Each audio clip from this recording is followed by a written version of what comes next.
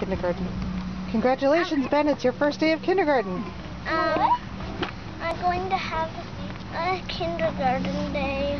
It's it's good, um, except I don't really know all the kids in my class. Um, I love you, mommy. Okay, we'll check back in with you later, okay? Okay, Bye. let's do one with Aiden now.